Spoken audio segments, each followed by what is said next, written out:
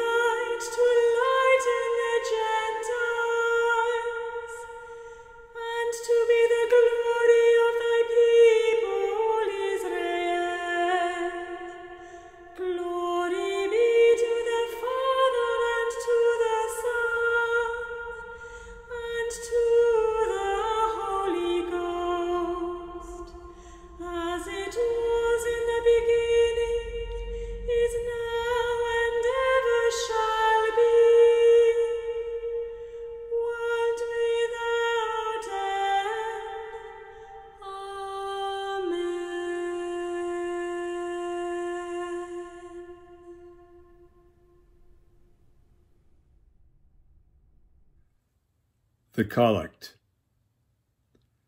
Heavenly Lord, you long for the world's salvation.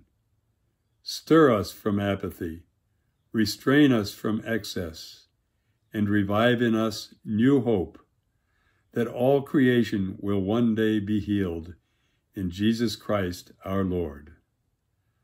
Amen.